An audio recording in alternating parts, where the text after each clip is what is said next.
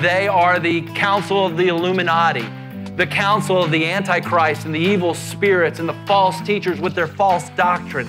And it says, what did they do?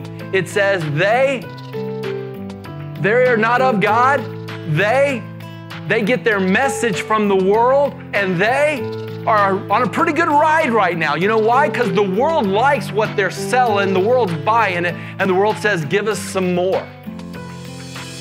The apostle then says, but then there's the we. And I interpret this as the apostles say, you people have a choice.